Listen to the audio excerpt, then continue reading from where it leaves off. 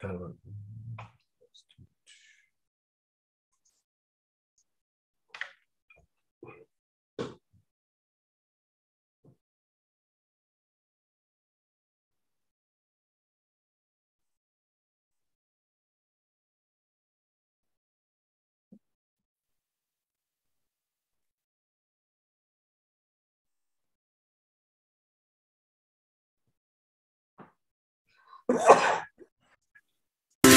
ukabura umucakara warizeye ukabura umucakara na none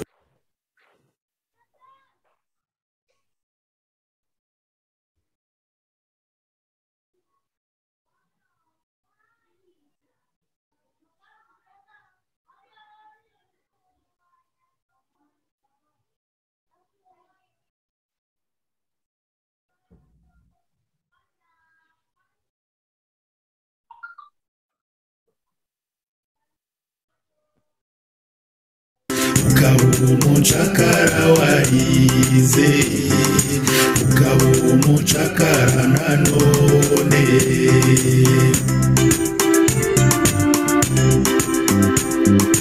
Ukaba umucakara warizeye ukaba umucakara nanone. Ukaba umucakara ugurisha abacakara kabarasa ku manywa y'ihangu ukaba umugaragu bahemba imiboko ukaba umugaragu utabizi amateka akaba arimo kugarukana na yo.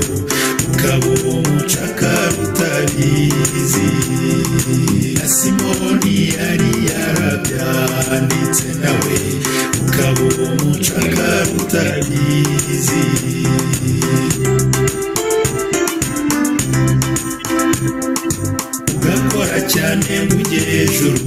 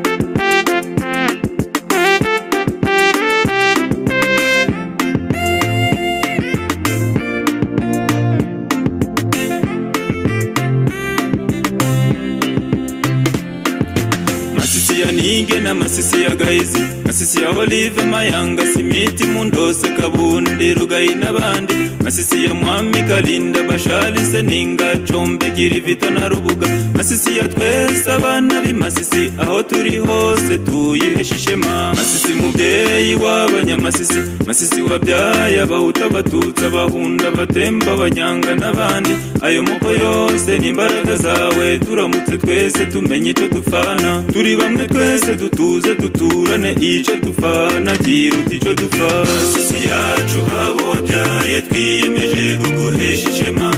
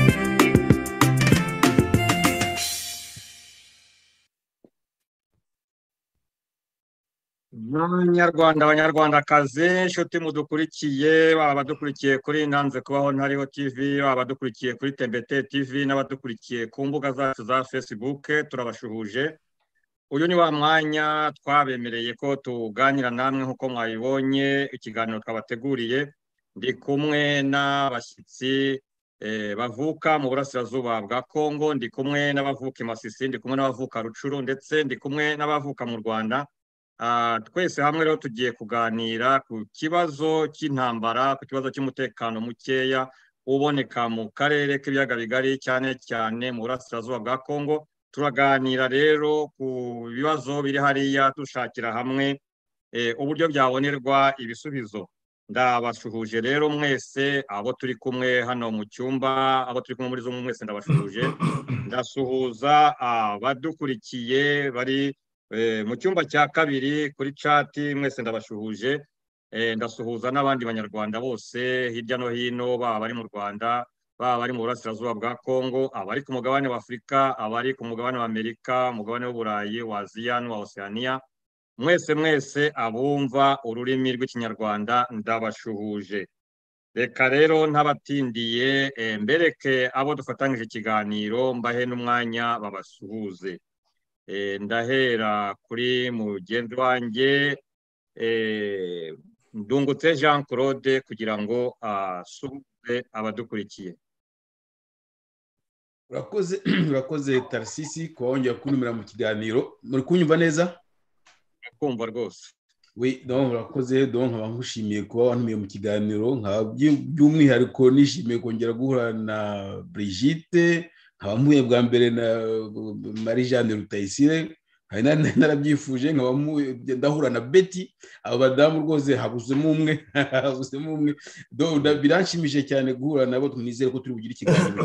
Nshuje abanyamasisi bari kunkurikira ubwo namaze kubohereza za ntuza rwose mbonye ba- bari kunkurikira ndabashuje cyane bihangane cyane cyane ab'iwacu ku muheto batangiye guhunga ab'inyamitaba ab'inyakare ba gisovu n'igatovu bose.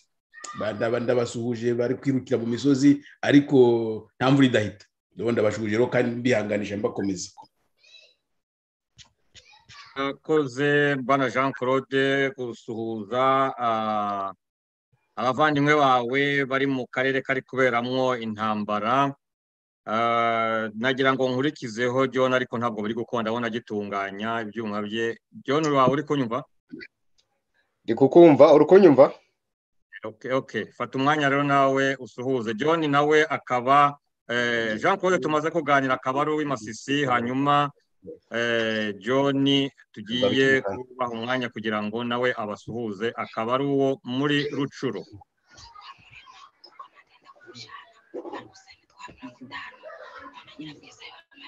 Eh, John uracyahuze ushyize kuri miyute hanyuma mu kanya turaguha ijambo. Reka twakire bwana bakunda Pierre Celestin nawe uri mu Bufaransa adusuhuze murakoze bwana munyankindi tarsisi nitwa bakunda icyicaro Pierre Celestin. Ndi hano irire agira ati mu bufaransa.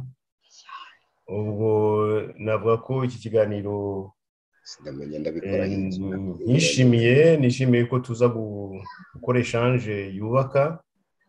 Kungurana ibitekerezo kuri iyi eh, suje yo kongera ingabo. Ari nako bongera ibikoresho byo kurwana bica abantu. waba uvanyeho kamera ugakemura ikibazo ufite ubundi ukagaruka. Ntabwo munyumva neza? Neza turi kukumva na n'undi nabwiraga John. Ok bon donc ubwo nari ndiho mvuga nti iyi ya yo kongera ingabo no kongera ibikoresho kugira ngo bajye kwica inzirakarengane ni nziza tuniriye ko turayidebata tugakora eshanje yubaka muri make ndumva nakwifuriza buri wese uri hano eh, kugira contribution nziza eh, no gutanga ibitekerezo bituma abantu bari mu- muri kariya gahirahiro eh, tubarasura tu- tubaha mbese icyizere cyo eh, kubaho kuko intambara wa mugani ni mbi ariko igeraho ikarangira. Murakoze. Urakoze bana Pierre Celestin bakunda icyicaro reka duhe umwanya na Marie Jeanne Rutayisire nawe asuhuze abadukurikiye murakoze muvandimwe tarisisi ndabashimiye. Ndaramutsa cyane cyane abo bavandimwe b'abanyekongo tubafashe mu mugongo tuzi urugamba muriho yego natwe ntibituretse ariko twicaye hano kugira ngo tubabwire ko turi kumwe kandi tuzi akarengane muri guhura nako. Ubwo rero reka nsuhuze n'abavandimwe ba beti Brigitte eh, n'abari muri cate ubwo tugire ikiganiro cyiza tugerageze kungurana inama no guhumuriza abari mu kaga ko ngo nta mvura idahita. Igihe kiragera bikarangira ariko twese tugomba kubigiramo uruhare nyine kugira ngo birangire kandi birangire neza. Murakoze. Ikoze Marie Jeanne Rutayisire. Eh, Brigitte nawe wasuhuza abadukurikiye. Murakoze bwana munyankindi ndabasuhuje. Kandi mbashimira kuba mwantumiye kuri ino televiziyo yanyu ya nanze kubaho ntariho.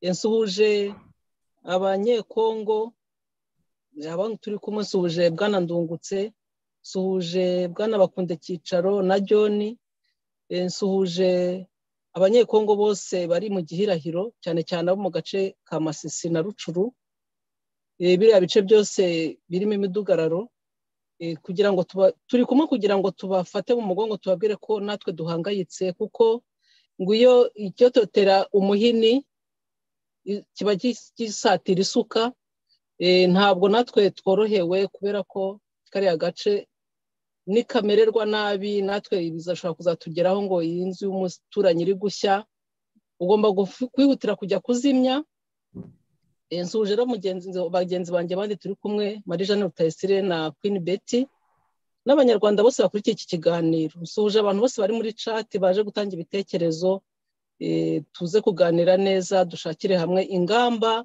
zatuma z'ibyo twakora kugira ngo ruriya rugamba ruhagarare eh, kuko tuzajya mu kaga twese nibikomeza murakoze.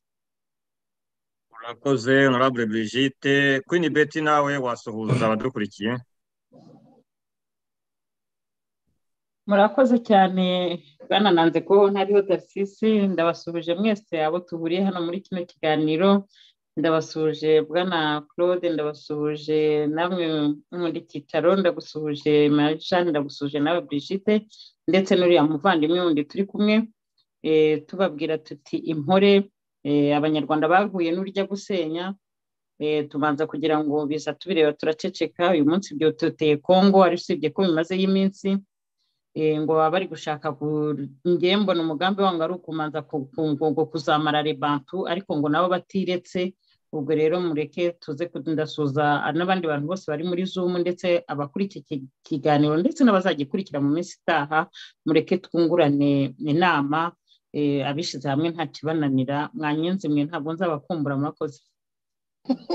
Murakoze queen betty eh, dutegereje n'umuvandimwe wacu john eh, cyangwa benshi bamuzi ku izina rya auguste wawa.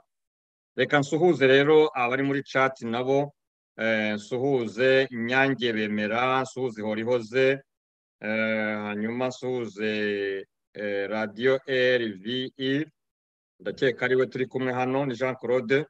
Nsuhuze daniela monorina. Ah, nsuhuze gitamisi gitamisi. Eh, nsuhuze beya beya. N'abandi. Claudia schiffer. Odeta macumi eh, nukuri eh, nande wundi.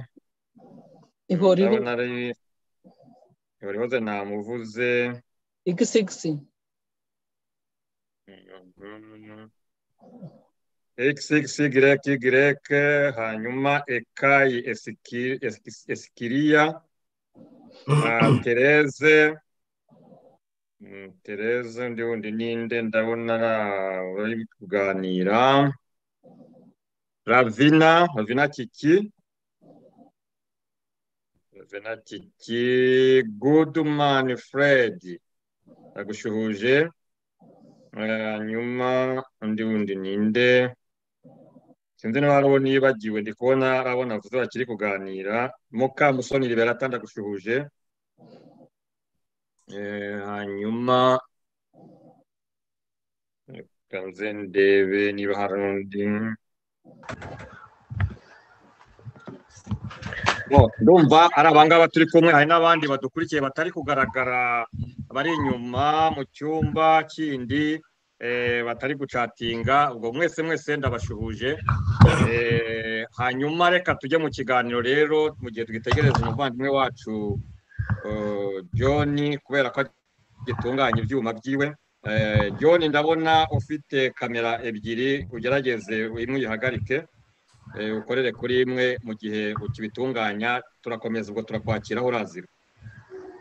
Hanyuma rero sije yacu y'uyu munsi topic yacu dufite iravuga ngo M23 RDF turibaza kuba u Rwanda ah, rwongera ingabo n'ibikoresho oh, muri Congo eh, kandi bikomeza kugaragara ko amahanga yakomeje kurwamagana eh, ndetse n'ibihugu bikomeye twakekaga ko birushyigikiye bikaba bikomeza kurwamagana bavuga bati nimuve muri muri izo ntambara nimuve mu gihugu cy'abandi ariko tukabona bo bakomeza kongera intambara bakongera abasirikari bakongera ibikoresho ndetse bakarushaho no kugenda bafata utundi duce.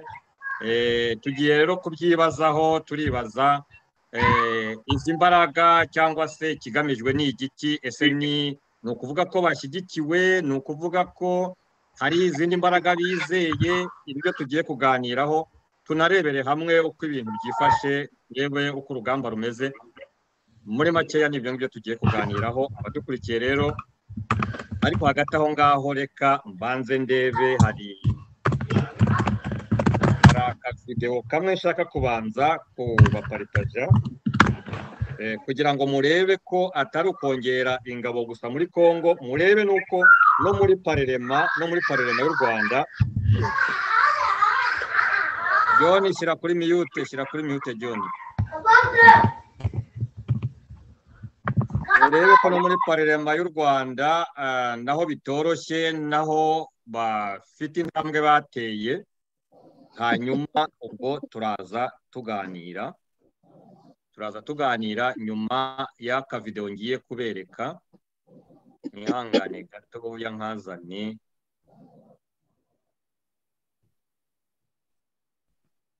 mwihangane gato nkazane tukarebere hamwe.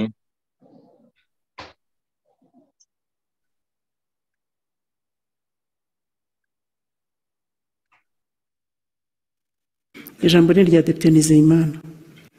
Ndabashimira nyakubahwa sipika nshimira nyakubahwa minisitiri ku kiganiro tugiye kutugezaho. Nk'uko yabivuze mu gihugu gituranye cya kongo hari umutwe w'iterabwoba fdr ugizwe n'abasize bakoze jenoside yakorewe abatutsi muri mirongo icyenda na kane. Ukaba ugifite n'intego yo kurimbura umututsi ahava akagera nk'uko abayobozi babo bagenda babyivugira.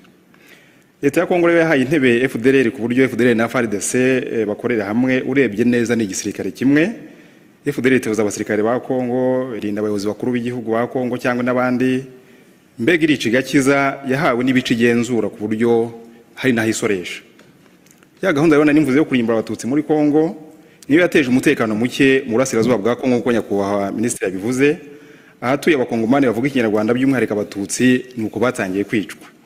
Hari imvugo z'urwango rero ku bakongomani b'abatutsi bakomeje zakomeje kwiyongera bikorwa na bamwe mu bayobozi ba Kongo haba abanyapolitike abasirikare polisi sosiyete sivile abihaye imana iyo ni mu nteko ishinga amategeko ntabwo byatanzwe kuko abadepite baheruka kuzomera umudepite mugenzi wabo bamuziza ko ari umututsi avuga ikinyarwanda na sipika w'inteko ntabwo yatanzwe muri icyo gikorwa kigayitse. Urwango rwigishwa n'abayobozi ba Kongo rwavuyemo ko FDLR ifatanyije na FARDC bica abatutsi muri Kongo ku mugaragaro n'abakongomani batavuga ikinyarwanda nabo bica bagenzi babo batutsi babaziza uko baremwe babica urw'agashinyaguro barabatwika nk'uko nyakubahwa minisitiri abivuze babaca imitwe barabashahura barabambika ubusa n'ibindi bikorwa bigayitse. Mu by'ukuri bidakwiye gukorwa n'ikiremwamuntu bikwiye gukorwa na shitani yonyine nyakubahwa sipika hari ibibazo nifuza kubaza kugira ngo ndusheho gusobanukirwa ku bijyanye ah, n'ibyo nyakubahwa minisitiri amaze kutuganiriza. Mubona ari iki gituma imiryango mpuzamahanga itavuga iyicwa ry'abatutsi rikomeje gukorerwa muri kongo njye mbona ko ari jenoside yatangiye? No mu rwanda ni uko yatangiye imiryango mpuzamahanga yarareberaga. Ni iki u rwanda rukora mu gutabariza abantu bicwa ku mugaragaro muri kongo bazizwa ko bavuga ikinyarwanda? Ni iki u rwanda rukora mu kugaragariza amahanga mu kugaragariza amahanga imikoranire ya fdr umutwe w'iterabwoba wasize ukoze jenoside mu rwanda na fdr na fardc kugira ngo kongo ihabwe gasopo cyangwa ifatirwe ibihano muri iyo mikoranire ya fardc na fdr icyo u rwanda rwakora kugira ngo hahagarare ukwicwa kw'abatutsi muri kongo biramutse bishoboka. Rwa sipika ubushotoranyi bwa fardc na fdr ikomeza gukorera u rwanda iturasaho mu kinigi ivogera ikirere cyacu ikanagusha indege zi- zi- z'intambara abakongomani batera amabuye ku mupaka wacu mu rwanda n'ibindi bikorwa by'ubushotoranyi byinshi. Ubushotoranyi mubona buzagarukira hehe tuzagumya gutegereza baze badukore ibyo bishakiye. Kongo iheruka kwirukana ambasaderi wacu ibi nk'u rwanda twabyakiriye dute? Ni iki twenda kubikoraho mu rwego rw'ububanyi n'amahanga? Hari impunzi z'abakongomani zimaze imyaka myinshi mu rwanda kongo ijya iganira n'u rwanda uko zatahuze ikibazo cya nyuma ariko nta buryo ubundi bwabaho bwatuma ibice byacu byashyizwe ah, muri kongo n'ahandi mu gihe cy'ubukoroni bakata imipaka byagaruka. Biramutse bihari haramutse hari ubwo buryo mwaza kutuganiriza. Ndabashimira kwa sipika Murakoze ijambo ni irya depite barikana.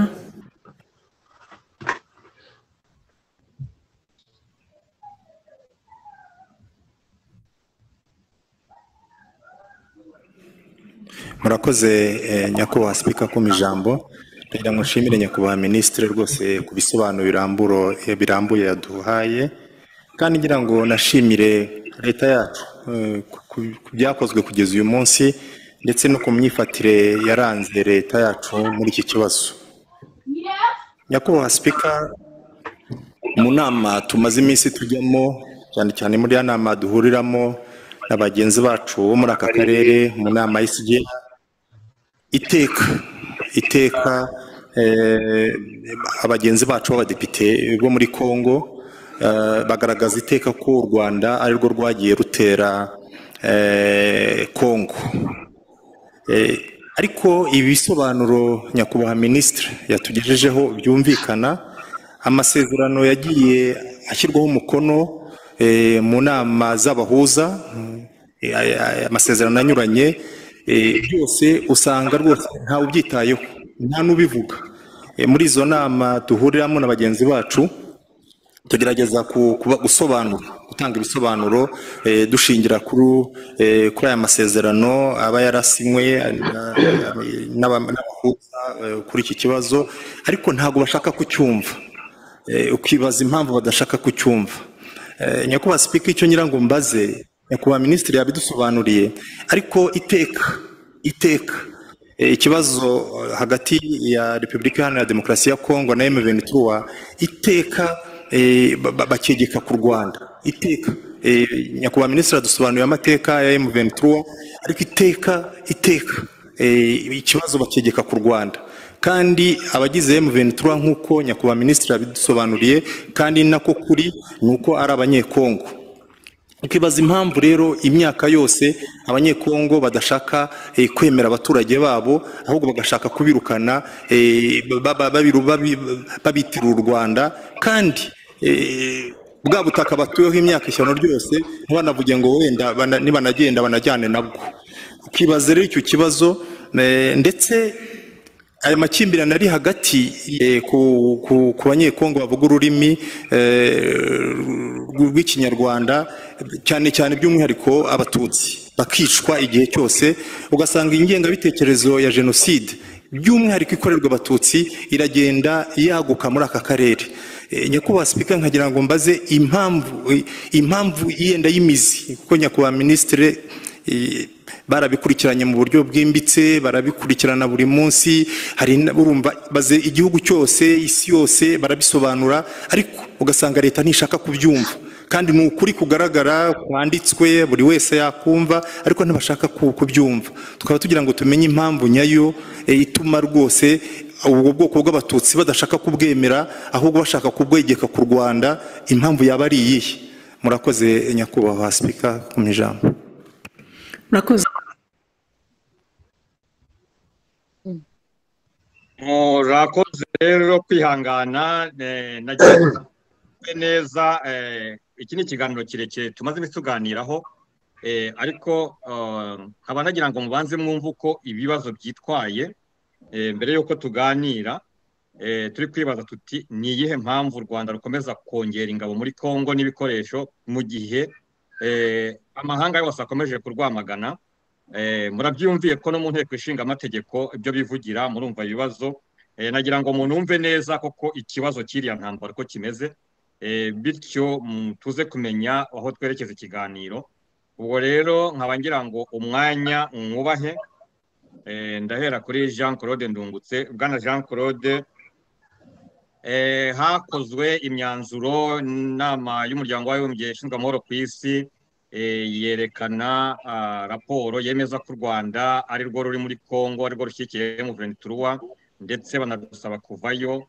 Eh, hanyuma tugenda tubona mu miryango mpuzamahanga aho perezida felix tshisekedi yagiye atumirwa mu manama aragiye agerageza gusobanura ikibazo akabyerekana ko ari u rwanda ndetse eh, leta ya kongo nta kitakoze kugira ngo yerekane n'abantu yagiye ifatira kuri ku butaka bwayo kwica abantu. Eh, hanyuma ariko ko amahanga agenda afatira ibyemezo avuga ati ikibazo ni u rwanda. Ndetse mwabonye ko hari n'ingabo z'umuryango wa East Africa Community zari zaroherejwe kuza kurwana eh, n'uriya mutwe. Nubwo ntacyo zirakora ariko zaje kubera ko ikibazo n'ubundi kigihari kandi ko u Rwanda rudashaka kuva ku izima. Ndagira ngo nguhereho wowe ukurikije uko ubibona eh, urabona ko u Rwanda kuba rukomeza kongera imbaraga hariya eh, rukongera ibikoresho rukongera abasirikari rwaba rubiterwa n'iki? Ni izihe mbaraga rwaba rufite kugira ngo rwe kumva abantu bose eh, bakomeza kurwamagana? Nyamara ahubwo rukarushaho kugenda rwongera n'uduce rwafashe wowe ubibona ute impamvu ya mbere deja bari abadepite bayishubije impamvu ya mbere tuyayikura muri ya nteko ishinga amategeko y'u rwanda kuko bavuze ko benyibukije bakunda yigeze kuyigarukaho disikuru ya bizimungu pasiteri bakimara gufata ubutegetsi yaravuze ngo hazabaho Be- berlin ya kabiri ngo bifuza ko habaho berlin ya kabiri. Na- na- nako yabivuze ashaka nkaho baza ba- ko berlin ya kabiri ibaho. Urumva ko vereyite zabo zatangiye kera mbese navuga ko ariyo ni byo byanabamutuye intambara yabo ishingiye ku iyo vereyite kuko buriya butaka bwa kongo bava muri uganda batera u Rwa- u rwanda cyari ikiraro. Aganiriye n'abantu benshi u rwanda rwari ikiraro nta mabuye y'agaciro rugira rwari ikiraro kugira ngo bafate kongo bayi- ba- bayigire. Iyo rero ni impamvu ya mbere nyine bashaka buriya butaka bwa kongo impamvu ya kabiri utese barashyigikiwe kuba bashyigikiwe duhora tubivuga hano ya toujours des acteurs un acteur un autre. Ariko rero kuba ngenda ndavuga nti nta byabaye byo muri mirongo icyenda na gatandatu batera. Biriya ngiye naganiraga n'abantu b'abakecuru ba- babibayemo.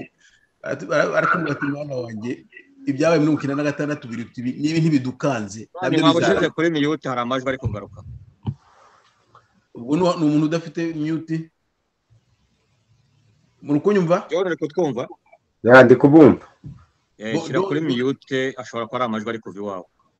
Ibyo kuvuga naho kuvuga ngo iyo izo verite zo ngo bashaka kariya karere byo baragashaka duhora tubivuga mu biganiro dukorana bakunda zaneze dukora ya ya mpire hima bavuze barayifuza ese bazayigeraho? Ibyo ni byo turi burebe ariko impamvu ya mbere ni buriya butaka bashaka. Kongera ingabo rero na- ubushize cyane ikiganiro nagiyemo mvuga ko ijambo hari abavuga ba- baminimiza ririya jambo rya kagame yavuze ko ngo ari kuvuguza umuti ari kuvuguta umuti.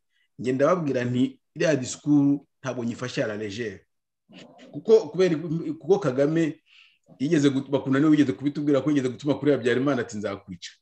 Yaramwishe. Rero bariya rero kuvuga ko ati ndaki kuvuguta umuti ni uriya muti yavugutaga. Ariko se umuti abakongomani ntabwo wemeye ntabwo bazemera kunywa bazirwanaho no muri mirongo icyenda na gatandatu birwanyeho kandi intambara ba- barabatsinda. Nta n'ingabo zari zihari. N'ubu ingabo ziracyari dezoruganize ariko aba- abakongomani bahagaze bwuma bazirwanaho baziyoruganiza abaturage bazongera bayirwane. Ntabampagariza aho ngaho. Murakoze eh, eh, celestin bakunda nawe ikibazo wacyumvise eh, nawe wagira icyo tubwira. Urabona biriya kuba u rwanda rukomeza kugira gufunga umutwe mu gihe amahanga yose n'ibihugu tuzi by'ibihangange twakigaga ko bibifasha byarwiyamye ku mugaragaro bakanemeza eh, ndatanga nk'urugero ku gihugu cya hano cya amerika cya leta zunze ubumwe za amerika bakavuga bati nimukure ingabo zanyu muri congo turabizi ko ari mwebwe muri yo. Nyamara bakaba bakomeza kwinjiza ingabo no kugumya gufata utundi duce. Wowe ubona ari igiki kigamijwe ubona ziriya mbaraga bafite eh, baba bazikura hehe cyangwa baba bizeye iki gituma badashobora kumva umuntu wese ubagira inama?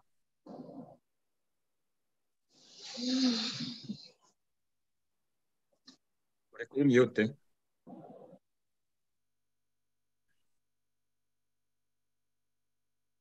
Celestin uri kuri mute banza ukureho eh, ngenda ndashaka kugaruka gato eh, kuri ziriya deba zo muri parlement y'u rwanda eh, zitsindagira ibintu bishingiye ku kinyoma vraiment. Simbona ukuntu ushobora kudoda ikinyoma ukajya hariya ukavuga ngo uraharanira inyungu izi n'izi z'igihugu cyawe. Ibintu bariya abadepite bavuze binteye isoni. Simbona ukuntu eh, bashobora kwihandagaza bagacira urubanza fdr ngo irantrena abasirikare bo muri congo fdr ngo irakorana na, fardc fdr mbese eh, tu fdr nta hantu na hamwe dekararasiyo n'imwe yabo nigeze eh, numva. Ikindi ubwabo nibo bavuze ko fdr bayirangije. Eh, ngira ngo uwitwa kabarebe yavuze ko yambukanye fdr imwe yari isigaye abandi bamazeho.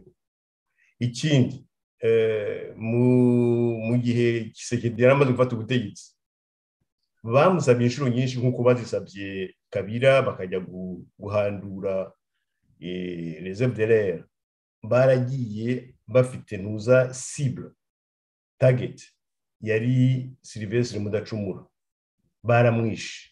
Ariko ntabwo bakura eh, mu kanwa kabo ijambo fdr fdr na biriya bavuga ko ngo fdr yateye mu kinigi nta kintu na gito dufite cy'icyemezo kuko nabo ubwabo bashobora kujya mu bi- mu birunga bakaharasa.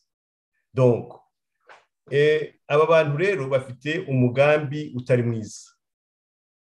Mbese ntabwo ari foi.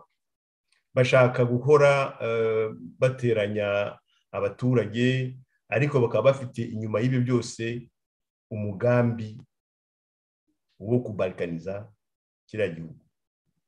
Nta kindi umuntu yavuga usibye kuvuga ko eh, ibyo barimo babiteguye kuva kera. Kandi ntibashaka kuva ku izina kuva kera bivuga ko bari bafite abantu babashyigikiye no gutera igihugu cy'u rwanda bavuye muri kampala bavuye mu bugande iriya yari nka pariti eh, ya mbere ya solution eh, y'ikibazo cyabo. Ikindi eh, indi pariti ikazaza mu gihe runaka bamaze kwistabiriza bakoze ibyo gusenya inkambi. Bishe impunzi z'abahutu. Bishe abanyekongo. Ariko ntabwo bagira n'isoni ngo bikarume noneho eh, batsure ah, umubano mwiza n'icyo gihugu cya kongo bahora eh, bafitiye inyota rero ndavuga nti bafite certainement abantu ba- babapusa abantu baba- babashyigikiye kandi nk'uko nkunze kubivuga ni poroje y'u rwanda n'ubuganda. Mu rwanda bari bafite ikibazo na uganda mu gihe intuza iriya mipaka yari ifunze. Ubuganda ni bwo bwakoze aranjuma kugira ngo icyo kibazo gise nk'aho kijya iruhande. Umuhungu wa museveni yagiye mu rwanda yitsitsa ko agiye ngo gusura donc biriya byose ubirasambuye na kuriya bavuze ngo bagiye gukora imihanda mu- bugande nk'aho bafite experience yo gukora imihanda. Ni ibintu biganisha eh, muri iriya reprise ya conflit kugira ngo gahunda zabo zigerweho. Nyuma rero ya ntuza ya museveni eh, buriya hari na bagashaka bahaki biriya rero ni ukuvuga yuko iyo umuntu akoze amakosa nk'ariya bakamwamagana agakomeza akayakora. Ni uko avuga ati abanyamagana ni igipande kimwe ariko ikindi gipande kikinshyigikiye bitabaye ibyo yagira isoni akavuga ati ndi mu biki? Donc navuga ko afite sponsor afite abantu bamugira inama bamubwira ko atagomba eh, guhagarara. Rero eh, abanyekongo bari bakwiye nabo kuvuga bati niba ari kuriya bimeze reka dukore ibishoboka byose twikize umwanzi. Kandi baka- bak- ba- bakareka eh, kurwana ara defensive nibakore intambara yuzuye uverte nibatsindwa batsindwa ariko nibatsinda batsinde. Nibitegure bakora ibyo bakora kugira ngo badakomeza kuba eh, wa mugani wa w'abanyakigali ngo ni insina ngufi. Iriya setenje ya c'est comme un éléphant hein, aho kubona la souris iza ikamunga elephant biteye isoni biteye ubwoba. Kongo rero yari ikwiye guhagarara ku maguru abiri diplomatikoma yaratsinze rwose yarabatsinze. Hasigaye nibashaka nibakodeshe eh, abanyamahanga ariko kiriya kibazo bakirangize pour toutes niko nabivuga kuko bariya abanyakigali bafite rezo iyo rezo ishobora kuba defe ubu rero ndumva wenda muri make navuga ko niba kigali ikomeje gukora birimo gukora ifite abantu kiyankuraje bari inyuma yayo. Ntabwo ari gusa. Nkuko ngo rero dore yaje. Murakoze. Urakoze bwana celestin kuri ibyo bitekerezo. Reka duhe umwanya ah, john duhe umwanya john asuhuze ndetse john usuhuza abadukurikiye ufate n'umwanya nawe ugire icyo uvuga kuri iki kibazo turi kwibaza. Ni iki gituma u rwanda eh, rukomeza gukomeza umutsi muri iriya ntambara muri kongo rugakomeza kohereza abasirikari rugakomeza kongeraho ibikoresho kandi isi yose iri kurwamagana ndetse binagaragara ko n'abari inshuti zarwo bari kurubwira ko eh, rugomba kuva muri kongo wowe urakeka ko byaba biva hehe umwanya ni murakoze tarisisi reka mbasuhuze mwese. Ndungutse ndamusuhuje. Rutayisire nawe ndamusuhuje. Turamukurikira iminsi yose ku isi n'ijuru n'ahandi. Rero um, kariya karere kacu kariya karere kacu mbese wa muntu yavuga ngo iki? Ni amashitani ga- gahateye nta kundi ko umuntu yabivuga. Kubera ko umugambi gwa kagame n'abayoboye ariyo M23 RDF ba bandi bavuze ngo ntabwo bashaka kubana n'abandi muri Noro Kivu nanga se mu materitwari runaka. Ibo umugambi gwabo ni gumwe. Umugambi gwabo rero icyo bashaka baherutse kugitahura twaherutse kugitahura turakimenya. Binyuriye kuri ino nteko ishinga amategeko yo mu rwanda.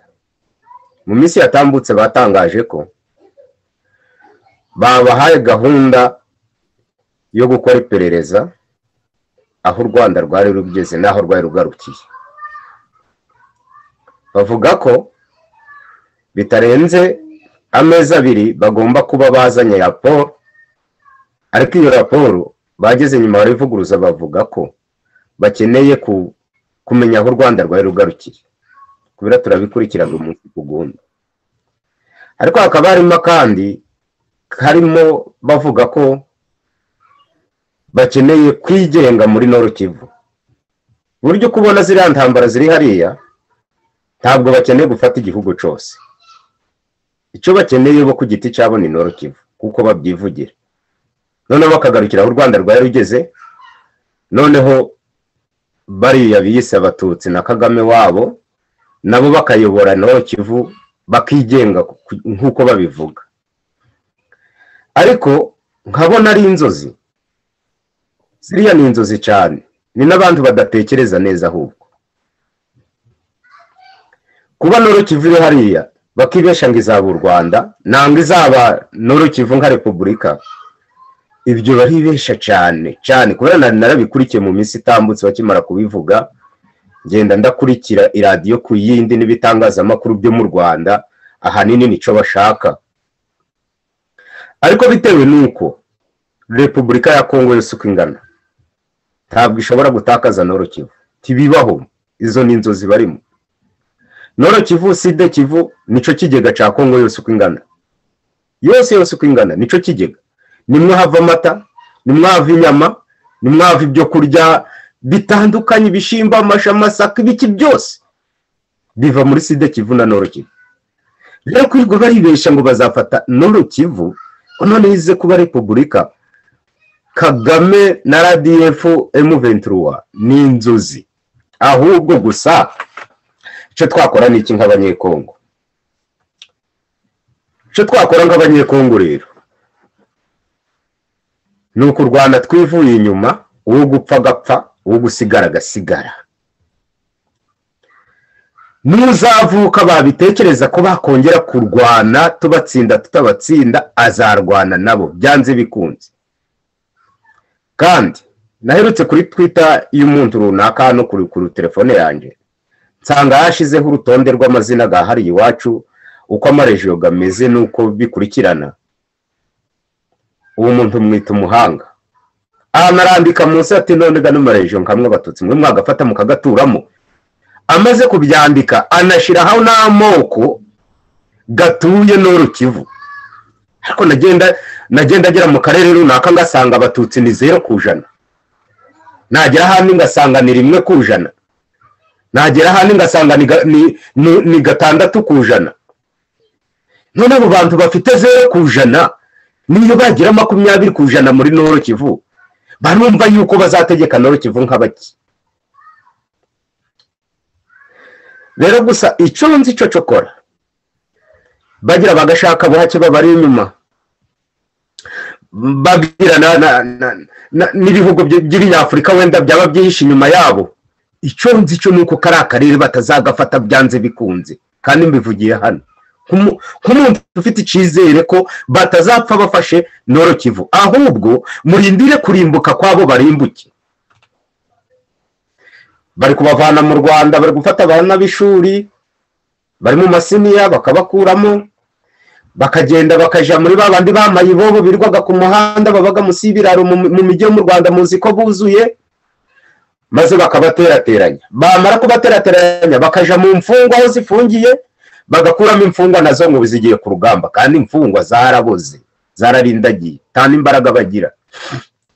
Babageza mu ngando bakabigisha none n'ejo nibo muri kumva ngo bashize imbere banyuze iz'ibirunga bamwe banyuze muri uganda abandi guco maze rero muzi ko ririya shamba ryacu rya ry'ibirunga kuko twabiganiriye tarisisi ririmo inzira nyinshi. Bamara kubinjiza rero bakisohoka ishamba.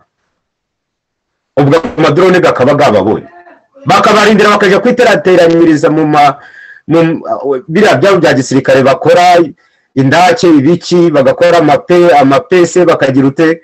Ubwo soko ikaba irabanyukaguye. Ubwo rero ahubwo bano bigize abatutsi ngiye kubivugaho uzanyanga zanyange uzankunda zankunde kandi nata- natashaka kunkunda ntacyo bizabintwaye kubera sindi umuvuke wo mu rwanda. Icyo nzi cyo ni uko ari abatutsi bo muri congo bijanditse muri bino bya paul kagame na, rdf ye na m23. Ye ab'iwacu abatutsi barashira. Ndetse n'abari mu rwanda nabo bazashirira muri kariya karere. Inkongoro zizarya zizaruha. Inyamaswa z'ishyamba zizabarya ziruhe? Kugeza igihe na zo zizaca umugani ku isi ko, zarezwe n'inyama z'abanyarwanda. Kubera ko ni abantu batumva igihugu si icyabo. Igihugu ni icyacu nk'abanyekongo. Twebwe ubwacu kuva isi yaremwa nta muyobozi w'umunyekongo nangwa ukuriye igisirikare nangwa umuperezida wari watunga urutoki mu rwanda ngo agiye gutera igitero. Nta n'umunsi na gumwe. Ariko si bo kuki batwica buri munsi? Niba- niba- nibaze rero bapfe ikindi ngiye kubabwira cyo ngiye gusorezaho gakeya wenda turabandanya umugani w'abarundi gukomeza kuganira. Uriya kagame muzi ko ari ifoto burya nanjye maze kubyemera. Aho nabyemereye ni hano ni uko kagame wo nari nzi mu madesikuru bwa kera kabisa ameze neza watambukaga imbere y'abasirikare ariko mbega ukabona nyine? Ariko mperutse kubona kagame w'ikirema cy'intoki gisavu kibuye yarabitubwiye tukaje tura- turashaka ngo kumupinga. None nanjye naragenzuye nsanga kagame yarema intoki. Ibi zikurikirana ngo ngo kagame yavunwe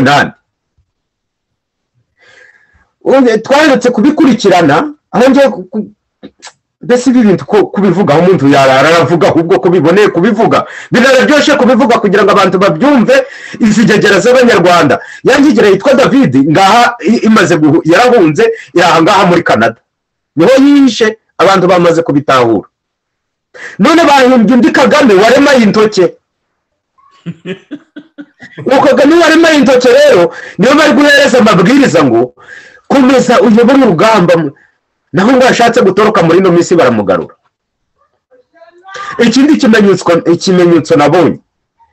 Ejo bundi ngo ni ukwibuka ngo umunsi w'intwari ariko rero ko umugani gwa gwa nimba ari ndize nimba ari nde? Wa munyamakuru nimba ari ukuteme nimba ari ukusinzi umugani gwe ariko nta ntwari zibaga mu rwanda. Ariko umugani gwa gwa padiri intwari washima intwari yo kwica ikica abantu igihumbi ngo iyo ni intwari. Ikica abantu ijana iyo ni intwari. Abandi bakabatwikira mu mazu ukamwita intwari. Izo ntwari zo mu rwanda zibagaye. Nuko rero ya ntwari yabo ya rwigema bishe kare na umugore we bananirwa no kumutumira mu gihe cy'intwari bagiye kubona babona araje bashaka kagame wo kumuyobora ku irimbi ry'umugabo we baramubura. Kumbe foto bakoresheje ya kare noneho birangiye abandi baje basanga za foto zahavuye bakora ibyabo gucugusa ni cyo gituma rero mu rwanda mu rwanda nta bayobozi barimo bagifite ubwenge. Ubwenge bwabo bwarazimiye. Mureke rero bakomeze bashotore kongo yacu. Gusa icyo nzi cyo ni uko urubyiruko rw'abanyekongo ruri tayari. Dufite abahungu bavuye mu gisirikare bari bicaye bari tayari. Ababaga muri cndp ababaga muri rsd bari baravuyemo bose bari tayari kurasa emu venturuwa bishize hamwe. Dufite urundi rubyiruko rwaherutse gutozwa urwo ruri tayari. Dufite ba bandi bo bitaga mu gihe harya ngo ni abakira ngo ni abaki? Sinzi ko babitara abo ngabo nibo ba- bamaze kuba bamaneko bo kuneka ukuntu rdf iri kuva mu rwanda ikaza nkatwe cyane cyane mu karere kacu. Dufitemo abantu banekagwa uko baraza. Bakareka bakagenda. Noneho bagahamagara bati baraje ngabo banyuze aha banyuze aha ngabo ibimodoka ni ibi? Abaje mu modoka bakaba bakabonye. Abazanye ibyo kurya ibyo kurya bigatwikwa. Abanyuze eh, hirya no hino bamara gushinga indake zabo za maneko zababonye bagatwika. Mureke bashire nibo babyiteye. Noneho uko bavugaga ngo umuhutu bazajya baramwita ingagi bamubonyeho ngo azaba ikibono umwe ku isi ngo azitwa ingagi. Ahubwo mureke bo tubite ubusa munyiga. Murakoze. Urakoze bwana john. Eh, eh, jean claude na bakunda ah, bati eh, birashoboka ko hari ibihugu bikiri inyuma y'u rwanda bikirushyigikiye nawe uti kagame ntawe kagame rwose ati ni ni igipupe gisigaye ati ni igipupe bakoresha. Kandi koko ni byo nkunze ko nabisobanuye nitujya dukoresha ijambo kagame hano abatwumva eh, ntibakeke ko dushaka kwemeza ko kagame ahari kuko twe twamaze kubabwira ko kagame yapfuye. Ntawe uhari ibyo ni byo twemera kandi twabitangiye ibimenyetso. Iyo tubivuga rero ni uko tubivuga ko ari ari eh, sisitemu yubakiye ku izina kagame ikomeza kuvugwa. Bityo rero ntabwo twareka kurikoresha kuko sisitemu yubatswe yubakiwe kuri kagame. Nabo bagumya gushimagiza ko rdf zikomeye ni iryo zina bagenderaho. Abatwumva rero tubivuga ah, babifate gutyo ntibakeke ko turi kwemeza ko kagame ahari. Kuko kagame natwe ntabwo tubona. Eh, hanyuma rero ndagira ngo twumve na marijani rutayisire nawe icyo abivugaho. Marijani nawe umwanya n'uwawe. Eh, ko bariya eh, john aratubwiye ati baraza tubareba baraza dufite abamaneko baba bamaze kubabona ah, bamara kuhagera sikoyi igahita eh, ibatwika ati ahubwo bazanahashirira. Kandi koko n'iby'amakuru igisirikare gitanga nuko buri munsi hari imibare itagira ingano y'abava ku rugamba ariko bagakomeza kongera abasirikari ndagira ngo nawe ugire icyo ubivugaho marie jeanne rutayisire murakoze muvandimwe tarisisi yewe uretse ko ntari n'umusirikare nanjye ndavuga nk'uko abantu bose babibona. Eh, by'amaso anyereka ikigaragara ni uko koko kongo yarangije kwisobanurira ibya rdf yarangije kumenya iriya purani ya bampatse ibihugu bari gukoresha kagame na museveni. Ibyo ngiye ntabwo mbishidikanyaho rwose kuko bitabaye ibyo tuzi ko hari amategeko agenga ibihugu n'imipaka n'ubusugire bwa buri gihugu. Kuba rero u rwanda hamaze imyaka imaze kurenga makumyabiri rwose rusiba kongo nk'aho ari abantu basuzuguritse badafite kirengera badafite n'agaciro. Nkaba rero ngewe mbona aho bigeze kongo yaragerageje igerageza kwerekana ikibazo mu buryo bwose bushoboka. Mu mpande zose njye nemeza ko ubu ibintu barangije kubibona neza. Nubwo abo babwira nyine bavuniye ibiti mu matwi kubera iyo purani yabo bifitiye imaze imyaka myinshi kandi bakomeza guperisevera ngo bazayigereho ariko kongo kuko yamaze kubibona yatanze abagabo ariko ntisinziriye kandi ntishaka no gusakuza kubera amayeri ya ziriya ngegera barayatahuye rwose. Ubwo rero akaba ariyo mpamvu kwa guceceka kwa kongo igakora bucece ariko diporomasiyo yarangije kuyikora. Noneho abandi kubera bizeye ayo maboko y'inyuma y'abo bambatse ibihugu babashyizeho bagakomeza kwiyahura. Ikibazo rero muri uko kwiyahura n'abana b'abanyarwanda bahashirira. Nubwo bica abanyekongo ariko n'abana b'abanyarwanda bahashirira. Nkiba nkavuga rero ngo ngewe fpr ni umutwe w'icyihebe waje mu karere nibaza ko umuntu wese utarabibona yari akwiye guhumura amaso abantu bakagerageza gufatanya kugira ngo uwo mutwe w'icyihebe tuwerekane neza hanyuma tubashe kuwurwanya dufasha abanyekongo cyane cyane bo baradufashije bo babibona kuturusha kuko twebwe twagize intege nke bamwe nyine ngo bibwira ngo ni bene wabo aya macakubiri bakomeje gushyira mu banyarwanda n'igihu cyakomeje gukomeza kujya mu bantu kubera iyo mikorere cyangwa se na za manipirasiyo kuko murabizi ko inkotanyi zikoresha ni manipirasiyo ni propaganda ibyo bintu barabishoboye. Kuba rero abantu uyu munsi mu myaka hafi igiye kuba mirongo itatu izo manipirasiyo na propaganda byarahawe intebe bikaba bigeze mu karere. Ndatekereza ko ni ukuri twari dukwiye kwigaya twese aho turi two gukomeza kurebera tuvuga ngo bampatse ibihugu. Bampatse ibihugu abaturage bahagurutse nabo basubira inyuma. Ubu se ko abanyekongo bahagurutse murabona atariho ikibazo kibagore kibabereye ingorabahizi nkabasaba rero ngewe muri iki kiganiro rwose ntavuze ibintu byinshi bikomeye fpr nta amakarita yose yarayakinnye ubu iri gukina ibigarasha. Iturufu yabo ya mbere ngo ni abatutsi ariko murabizi amadisikuru agenda ahinduka bitewe na ngewe ntekereza ko bajyana hari n'ikirere. Ikintu baba barashyize imbere ejo iyo bibagoye bageze mu mahina bahindura indi sitarateji mbese ni ibinyoma nta sinzi birangora kubona abantu bitwa ko bari ku buyobozi bw'igihugu bimakaza ikinyoma mu bintu byose mu bintu byose ariko. Ibintu byose bikaba ikinyoma. Nta kuntu rero ibyo bintu bishobora kubahira. Niba rero bidashobora kubahira bakaba noneho bageze aho biyahura muri kongo ese nkatwe abanyarwanda?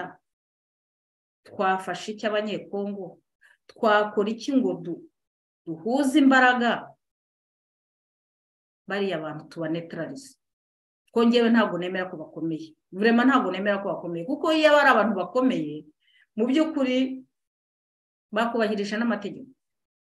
Byonyine kubahiriza amategeko ni cyo cyonyine cyerekana ko uri umuntu wiyubashye ko uri umuntu ufite agaciro n'abandi baguha agaciro. Impamvu rero babamatse ibihugu bakoresha ni ibyihebe ni ibiharamagara nta kindi kintu bagamije kandi bamatse ibihugu nta muturage waba upfa.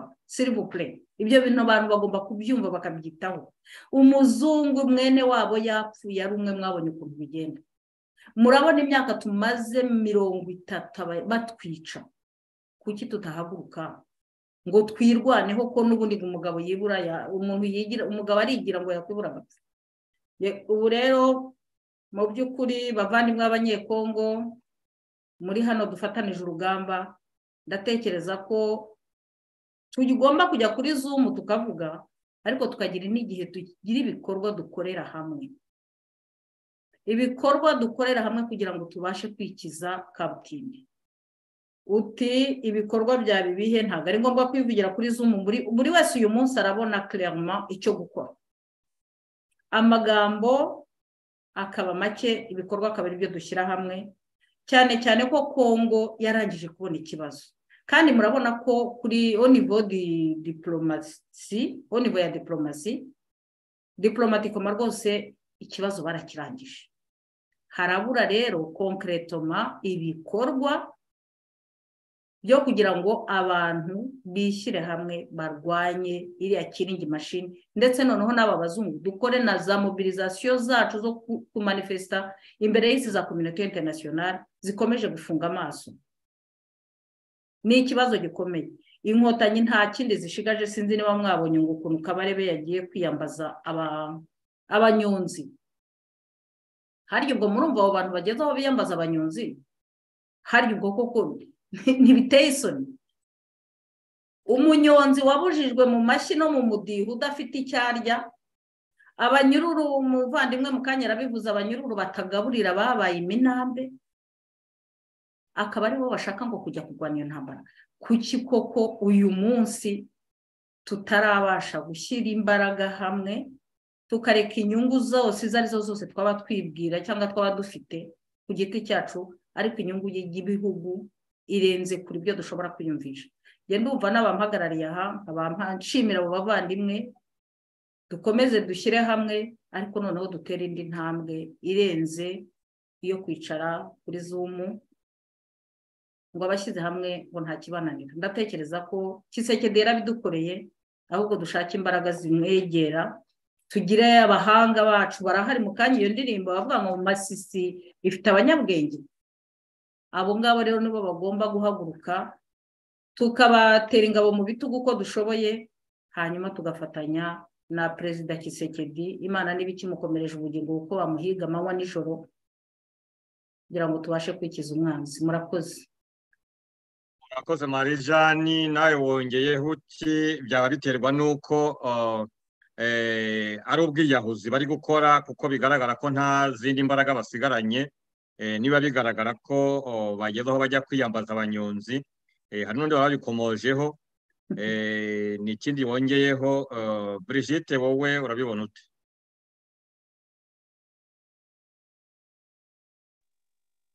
Murakoze bwana munyankindi ni ikibazo gikomeye gikomereye abanyarwanda gikomereye abanyekongo kubona kongo ifite abaturanyi bameze nk'uko u rwanda rumeze ubu ngubu rufite abayobozi bameze kuriya. Ikibazo mwatubajije ngira ngo twibandaho cyane ni ukubaza ukuntu bariya abantu bakomeje kungikanya ibikorwa byabo byo gutera ibikorwa byabo byo gushyira abasirikare muri kariya gace. Kandi mu by'ukuri hari ikibazo hari ukuntu ngo bagiranye imishyikirano basabwa kubahiriza buri muntu ku giti cye. Uruhande buri ruhande rufite ibyo rwumvikanyeho byumvikanyeho ku buryo uruhande rugomba kugira ibyo bukora kugira ngo iriya ntambara irangire. U rwanda rusabwa guhagarika gukomeza gushyigikira emuvenituruwa uretse ko ngewe ntajya mvuga ko emuvenituruwa hariho itaniye n'u rwanda. Emuvenituruwa ni ingabo z'u rwanda. Biyise ririya zina. Ni fpr ni kagame ni wa kagame twavugaga umwe wavunitse intoki. Hari abantu baduhaye agaparu n'agasomye kuri kuri kuri ibi bya social media bavuga bati kuba amenyereye gukubita bariya abajenero be ati yagiye gukubita mu mabinga ya kabarebe asanga kabarebe yarabyibushye cyane urutoki ruravunika. Ubwo rero yavunitse urutoki ariko bakubita inshyi nta kundi byagenda. Reka tubifate dutyo. Iby'iwacu biratangaje tubivuga duseka ariko birababaje. Kubona ubuzima bw'abantu buhashirira inteko ishinga amategeko igatangira ikavuga biriya bibazo uko mwabyumvise nanjye niko nabyumvise biteye isoni n'agahinda. Icyo bashaka muri kariya gace nta kindi barashaka ngo gufata ngo uduce bari bafite mbere y'igihe cy'ubukoroni bakaba bagomba kumva barwana bakica abantu bakabarimbura bakabamara. Byose ni urwitwazo ni ayo mabuye bazajya gucukurayo. Ngewe icyo mbona muri biriya bintu byo gukomeza kungikanya ingabo muri kariya gace zabo ni ikintu kitwereka ko inkotanyi fpr u rwanda abayobozi b'u rwanda ntabwo bari hafi kujya mu mishyikirano ngo bagire ikintu bubahiriza. Ni nk'uko basanzwe bakora nk'uko batubahirije amasezerano yarusha kugeza ubwo bahanuye indege harimo umukuru w'igihugu ari kumwe n'umukuru w'i Burundi w'igihugu cy'u Burundi. Ntabwo bari hafi kwakira imishyikirano baragira ngo bakomeze muri kwa gutaratamba kwabo ubwo bagiye kwiyambaza n'abanyonzi. Ni ikibazo gikomeye kubona umuntu asaba uwo yarindagije ni ikibazo. Baragira ngo barebe ko basunika iminsi basunika iminsi muri sitarategi zabo rero baragenda bubaka batera ubwoba muri utwo duce twa masisi nk'uko batutubwiye aho bagenda iyo bishe abantu ahantu abantu bagira ubwoba bakagenda bagahunga. Aho agace bataye ayo mabandi izo ngegera ziraza zikahasahura. Ntabwo ari ubwa mbere babikoze. Icyo kora icyo ngira ngo mvuge ni uko ibyo bakora byose ntabwo bateze kuzafata kongo n'ubundi bigeze bagera igihe bagera no mu rwego rw'ubuyobozi bukuru bagera mu mukuru w'ingabo.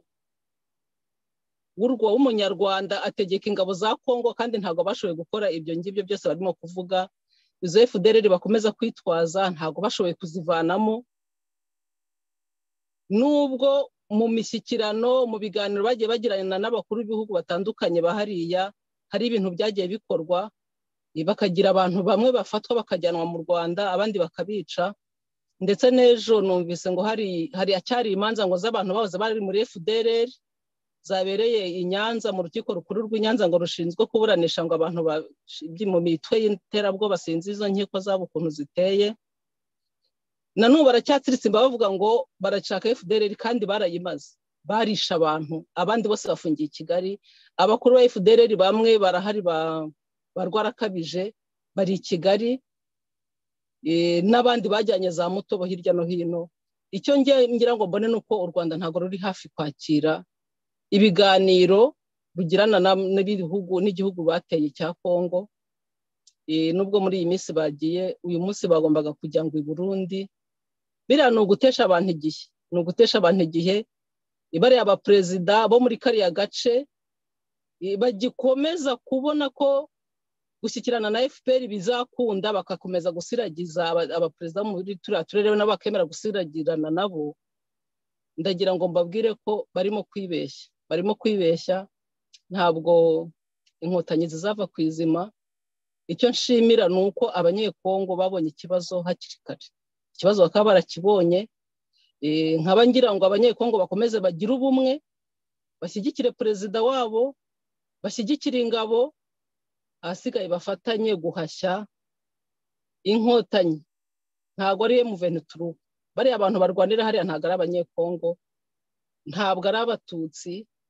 Ntabwo ari abatu nta nubwo ari abatwa n'inkotanyi ntabwo wamenya ahantu bakuye bariya barwanyi. Ndagira ngo mbabwire ko inkotanyi abanyarwanda bavuye muri congo nyuma ya mirongo icyenda na kane inkotanyi zarabajirajize bamwe babacamo ibice bamwe basubiza muri congo abandi babagumisha mu rwanda. Abo banyarwanda bagiye muri congo n'abanyarwanda abo bagiye muri congo n'abasigaye mu rwanda bajye bibaza impamvu babaciyemo ibice bamwe bakagenda abandi bagasigara. Nibwirira abo batutsi barimo gusiragira birirwa babyinisha baririmba ngo abatutsi barabamaze b'imasisi bafata aho bari batuye muri congo niba ari mu gihugu cyabo bahafate bature baturane n'abanyekongo. Mbere ya mirongo icyenda na kane ibyo bibazo ntabyo ari bihari ibyo bibazo byose byaje nyuma y'inkotanyi. Ese aho inkotanyi zifatiye u rwanda ni ho abanyekongo babonye ko bagomba kwica abatutsi? Nibicare hamwe kandi niba bumva ari abanyarwanda. Nibagende bajye mu rwanda babatuze mu rwanda aho umwaga utari ngo uruhu rw'urukwavu rwisasira batanu. Abadepite bafite iyo ntumbero yo kuvuga ngo bazabirukanane n'ubutaka. Ndagira ngo mbibarize bicare babaze biruta biruta viseni bariya badepite bajya bariya badepite bajya kuvuga ibibazo by'umutekano wo muri congo bakavuga uko abatutsi batotezwa n'iki? Babaze biruta muri bibiri na rimwe. Abanyarwanda bajyanywe muri congo yari abizi. Misiyo zo kujya kubasura yaraziteguye turagenda tuzijyamo abadepite baturukaga mu karere k'amajyaruguru biruta rero yiza kubeshya abantu hano ngo hari abari gutoteza abatutsi babica icyo gihe kuva muri bibiri na rimwe kugeza ubu ngubu. Abari baragiye gutuzwa hari icyo babaye. Hanyuma banasobanuza impamvu babaciyemo ibice bamwe bakajya gutuzwayo abandi bakabarekera muri ziriya nkambi za gihembe na hariya ku kibuye. Ibyo byose bazabisobanuza hanyuma bareke kujya birirwa babeshya biteye isoni nk'uko bakunda ibyicaro yabivuze biteye isoni kubona abadepite bicara mu nteko bagavuga ikintu cy'ikinyoma ikinyoma bakacyogeza bakagishyira hariya. Hari uriya depite barikana icyo gihe ari perefe w'ikibungu ibyo byose byo kwimira abaturage bihari tubajyana muri congo. Imikorere ya fpr arayizi yikwirirwa aza kubeshya hano ngo abeshye. Niba umuntu agomba kuguma mu kinyoma cy'inkotanyi nareke kubeshya rubanda babe muri icyo kinyoma mo arenteriyeri hagati yabo ariko bareke kubeshya abantu bo hanze. Abanyarwanda barabibona abanyamahanga barabibona abazungu baba bashyigikiye ntabwo mbizi ni akazi kabo nk'uko marijani yabivuze njye nemeza ko abenegihugu abanyekongo n'abanyarwanda bahagurutse. Ntabwo abantu bantu bashyigikiye fpr kwica abantu imyaka mirongo ingahe ntabwo bakongera kubashyigikira. Ni twebwe rero baturage tuzahaguruka tukavuga ibibazo byacu tukanga kuyoborwa na leta y'abicanyi abanyarwanda ngo batubibyemo ubwoba ndabyumva ko umuntu uvuze ko ari bukwice nta kindi ushobora kumukorera uretse kumuhunga ariko kumuhunga ukamureka agakomeza akica abandi cyangwa se kumureka nanone n'abamuhaye amahoro bagaceceka ntago babarekera ituze kuko hari abaturage bari kuguha amasasu nibiramuka byambutse bikaza igisenyi aho amasasu azagwaho ntabwo ari ko bazaba bavuze. Duhagurukire rimwe rero tubamagane kuko nitubamagana turi benshi bizagira imbaraga kurusha uko byakorwa n'umuntu umwe babiri cyangwa batatu. Banyarwanda bakongomani ndabasaba ko mwashyira hamwe mugashyigikira kongo abanyarwanda mukamagana intambara abanyarwanda bajya gukora muri kongo abanyekongo mugahagarara ku butaka bwanyu. Ntagende na milimetero kare n'imwe u rwanda ruzitwaza. Akarere karamutse kabayemo amahoro abantu bagahahirana bagashyikirana. Twese twagira ituze twabaho neza. Wa muvandimwe wakoze ririya barura akababwira ati utu turere inkotanyi zashobora kuduturamo ntabwo yabeshye kuko nibaturayo n'ubunebwe bwabo baramaze no kwica abantu b'abakozi b'abahinzi ntabwo bazashobora guhinga ngo ntabwo bashobora no ntibazi kwitabiraho itaka. Ngo ntibazi kwitabira umuntu utazi kwitabiraho itaka arafata amasisi ngo azayimaze iki? Muzayimaze iki mudashoboye guhinga? Rero nimusigeho mureke gukomeza gutera imidugararo mu karere njye numvise ko nibarangiza gufata kongo ngo bazajya muri za karagwe aho ngaho muri za tanzania. Ubwo ni ugukenyera tugakomeza rero habyarimana yarabivuze ati aba bantu bagendera ku kinyoma. Nimutashishoza mugakomeza kumva ikinyoma cyabo. Igihe bazafatira ubutegetsi akarere kose bazakayogoza. None dore ni byo barimo nyamara twari tugifite igihe cyo kugira ngo duhaguruke tubarwanye dushyire hamwe n'abanyekongo twamagane intambara bariya abayobozi bataduhagarariye abavugizi b'abatutsi bari muri iriya nteko ishinga amategeko. Tubabwire ko bagomba kuvugira abanyarwanda ntabwo bagomba kuvugira abatutsi bavugira abanyarwanda.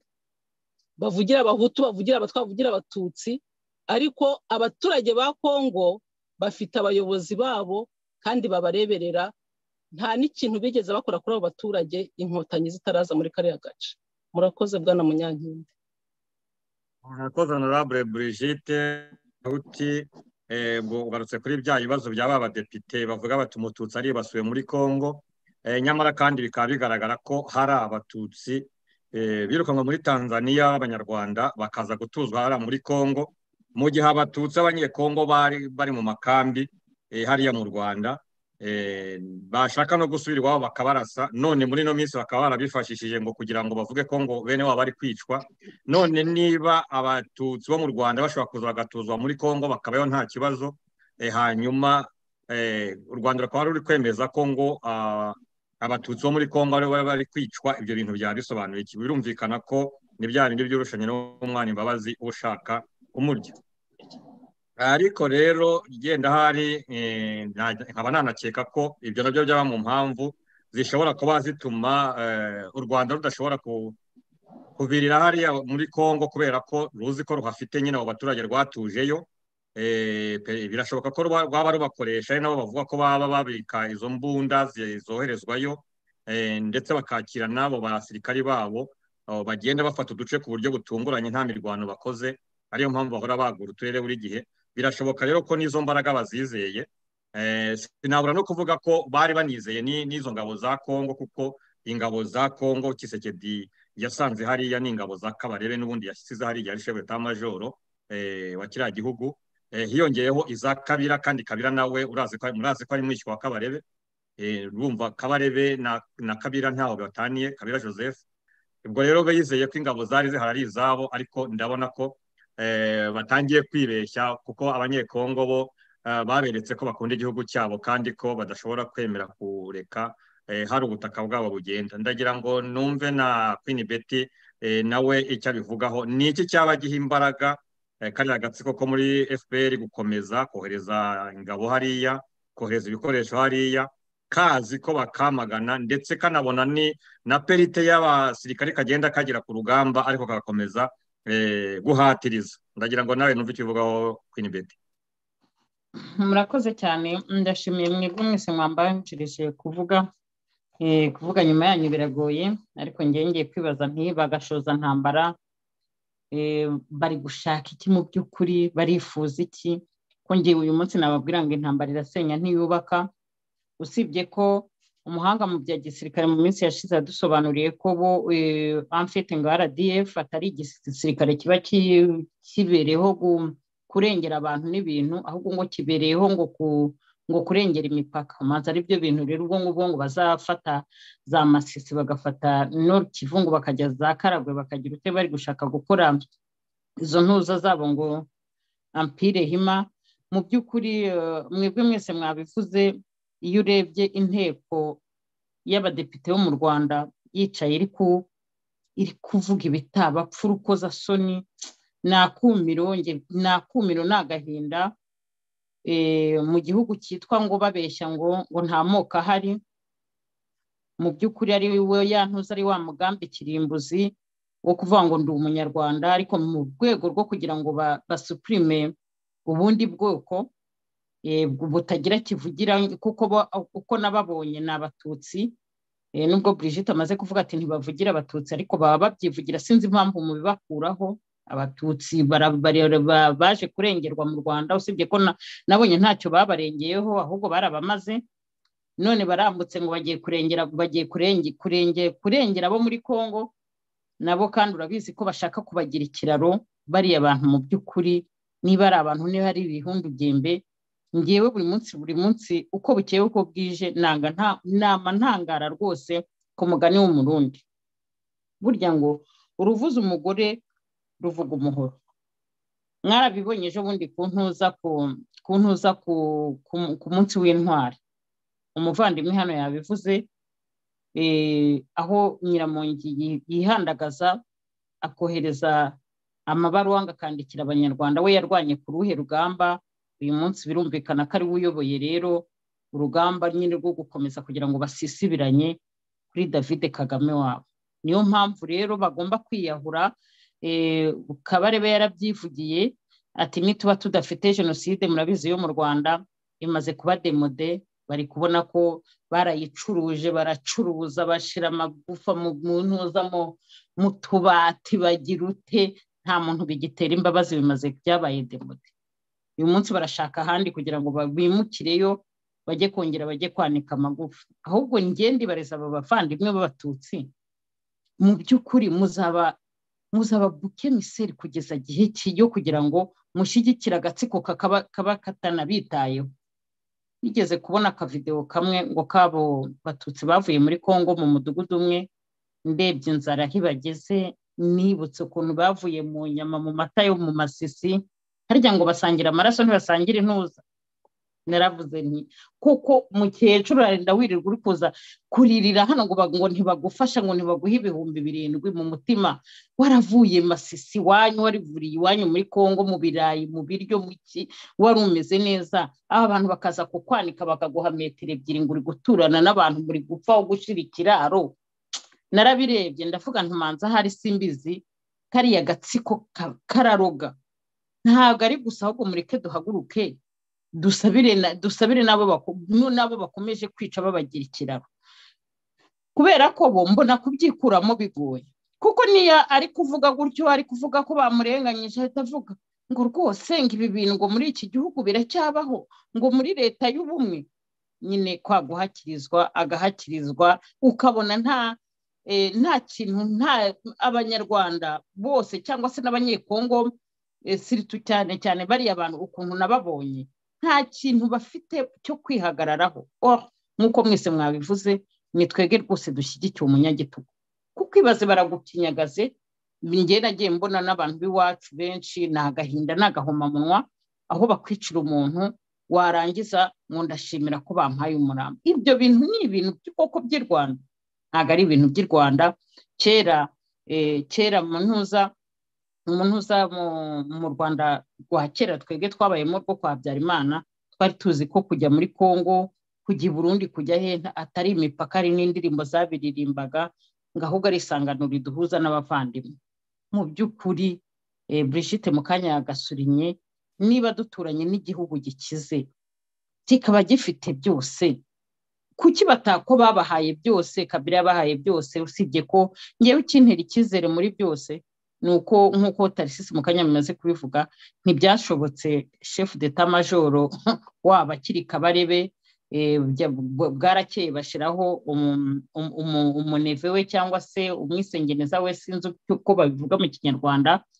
Amara imyaka cumi n'umunani ku butegetsi arabinjiza arabimfiritira hirya hino ntibyabashobokeye ndabizi babikoze nk'uko nk'uko batangiye binjira inzego zose zo mu rwanda buri munsi nkunda kuvuga ko fpr bakongomani noneho mwebwe mwabwiye abaturage ngiye kubwira abantu baba muri za opozisiyo yenda bashobora kuba banyumva ngewe muri iyi minsi nzagirana ikiganiro n'abantu bo kuri televiziyo z'abakongomani nzababwira cyane cyane mbwira abantu bo muri opozisiyo kuko iyo mubona u rwanda rugeze hano twagize kutagira abantu bafite patriotisme. Badakunda igihugu.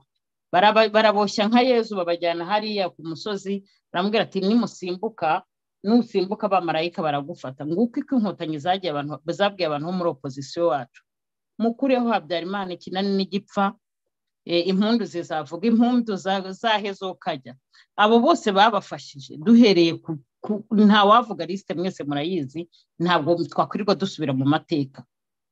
Uwo bashyize hejuru abamarayika bakamufata n'indi. Ko bamujugunyiye shitani ikamumira abandi bagakubita mu mapurizo ubu ndabizi n'abakongomani benshi. Barimo barababeshya. Tuzabaha imyanya. Tuzagira gute? Bariya abantu ni abafarizayo bafite akarimi. Ariko n'ubundi hari ahantu hari umuntu wanyibwiriye ngo ngo reka ngo ngo indwara yacu ngo ngo indwara yabo ni akarimi. Ngo akarimi rero ngo bagomba kugakoresha bakagakoresha mu kinyoma. Hari igihe marijane yavuze ngo ni amayere ngiye mbona nta mayere bafite. Amayere se amayere y'ubugome bungana ubucakura. Ubucakura. Ni ubucakura rwose. Ni ubucakura bwo nakwita. Ntabwo ari amayere ni ubucakura bwo nakwita n'umwana. Ubwo rero ngewe nerekana imfugire nka Brigitte. Uwavuga ibya bariya bantu wavuga y'inzuki ntiyarya ubuki. Fpr fpr mbabazwa nuko ngo yitwa ngo na ngo front patriotique. Yaheye ibintu byabo byose ni urumuri nyamwijima. Ni urumuri nyamwijima. Ntabwo ndabona usibye inyamaswa nta muntu ndabona wica umuntu umuntu yita umuvandimwe. Niba koko abo batutsi badashaka gushira uyu muvandimwe mu kanya yabivuze abo batutsi badashaka gushira nibahaguruke bava inyuma ya fpr ngewe none uyu munsi ni we ngiye gusaba nibava inyuma ya fpr kuko fpr bari abatutsi baratwicisha nabo bakiyicisha. Umugambi bafite ni ukumara ba bantu. Iyo bagiye muri congo bakaza bari kwica ntabwo bica abo batutsi kugira nyine ngo bagire babishe babagerekaho. Ngo bagerekaho nk'uko babikoze muri ya nyandiko ya samu kayitati babivuga neza cyane tuzica abatutsi. Twarababeshaga ko tubakunda paul kwari uburyo bwiza bwo gufata igihugu. Nkeka ko n'uyu munsi ni meme metode none ko tubizi rero iriya metode ntabwo yari ikwiriye kongera gukorwa gukorerwa mu maso yacu banyarwanda banyarwandakazi bakongomani bakongore mureke duhagarare aba bantu duhagarikiye ikiringi mashini iyi kiringi mashini abantu nibatayihagarika izamara abanyekongo abanyarwanda bo yarabarangije usibye ko mbona itanyurwa n'ubundi iracyakomeje imyaka makumyabiri n'umunani ngo tuzabica tuzabashyira muri pirizo ntawe ubavugira ngo hari n'aho twageraga tukarimbura imiryango tutitaye kuko bakoze jenoside. Au contraire icyo bakoze bahembye abatekinisiye babo.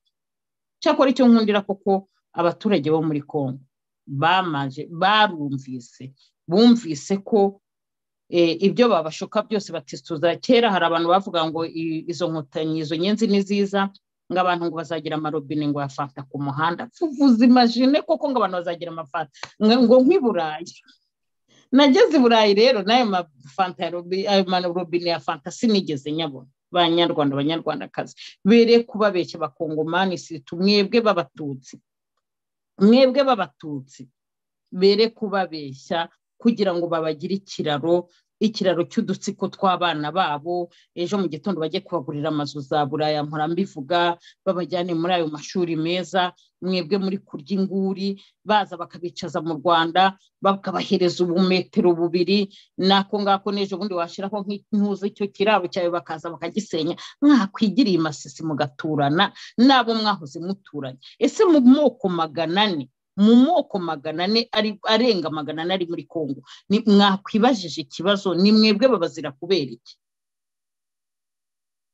Ndababwira uyu munsi ngo muzasome isengesho rya mutagatifu francois dasize mumenye icyo gukora kubera ko rwose mumaze kubura urukozasoni kuko niba muri abatutsi mukaba mwumva ibintu bibakojeje isoni ngewe nk'umuhutu ndababwiye nti rero stop stop stop guhora mwigira abavigitime kandi ari mwebwe muri gushyigikira. Uyu munsi ndabivuga ko bari gushyigikira bene wabo kuko niba hari abo bagiye gutuza muri congo nk'uko Brigitte yabivuze bakabajyana abandi ikindi gice bakakigira hara kugira ngo bakunde kuko hakundi bigaragambye.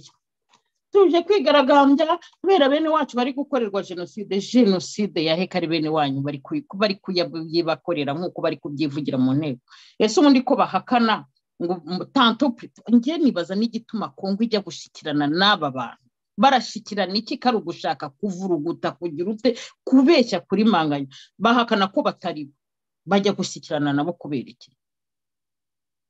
Njye ntabwo numva amfite simbyumva njye biranacanga ntabwo ari twebwe rdf bari gukomeza kuvuga ku byitiranya n'u rwanda. N'ejo bundi nabonye indi twita iri kurega iri kuvuga ngo kisekedi ngo yarongeye ngo n'imbere ya papa ngo arega u rwanda. Hari n'umudepite wabibajije ufinara aka gatogo ni gatogo nyabaki banyarwanda abanyarwandakazi njye ntabwo mbizi ndavuze nti abaturage ni twebwe dukwiriye guhaguruka tukirukana. Uyu munyikiringi mashini uyu munyagitugu burya igitugu kiragwira ariko igitugu cyo kwica cyo rwose cyica umuntu wese ushaka kuvuga werekana ati nyabona ibi bintu si byo?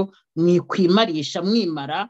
Dore ko ikiyoni igisiga cy'urwara rurerure kimennye inda fpr yo yimennye inda nako inyenzi zimennye inda zirakomeje ababuzukuru ba runari nabo guhagarikwa mu maguru mashya. Imyaka mirongo itatu irarangiye igihe cyararenze abanyarwanda abakongomani abarundi nibahaguruke bahagarare bamagana aba bantu yewe nibishoboka n'umwuka wa nyuma abantu bazawutange ariko aka gasuzuguro gahagarare murakoze ijambo n'ibyanyu urakoze Queen Betty kandi Queen Betty ndagira ngo ngutumire rwose eh, uzantera inkunga tuzongere dukore ibiganiro by'iringara kugira ngo tubwire abanyekongo kuko abanyekongo hari igihe bakeka ko ntacyo dukora kuko iyo ukurikiye ku maradiyo yabo wumva ko bavuga ngo abanyarwanda ngo ngo abanyarwanda bose ngo turi kimwe ngo twese ngo dushaka igihugu cyabo ngo kuki ntacyo ngo tuvuga ngo igihe ngo ngo kagame abatera ngo turafatanyije? Ndagira ngo tuzakore ni ibiganiro ni byo nanjye hari abo numvise hari abo numvise babivuze rwose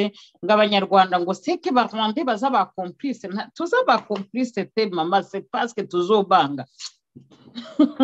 Ye uzantera inkunga rero tuzakora ibyo biganiro muringara kandi ndagira ngo nongere mbwire abanyekongo abanyekongo ku- nk'uko Jean Claude Ndungutse na John oh, Gisewawa nawe baje hano kudufasha n'abandi bazatinyuke baze batange ibitekerezo byabo kugira ngo abanyekongo bajye bamenya ko abavuga ikinyarwanda ah, batuye muri Kongo badafatangije na kariya gatsiko kubagirira nabi bajye bagerageza kumva ibitekerezo byabo kuko hari amakuru akomeza kuvuga ku maradiyo y'abanyekongo ko ngo abavuga ikinyarwanda ngo bafatanyije na bene wabo hakurya mu rwanda kubagirira nabi ngo kubera ko bicecekeye.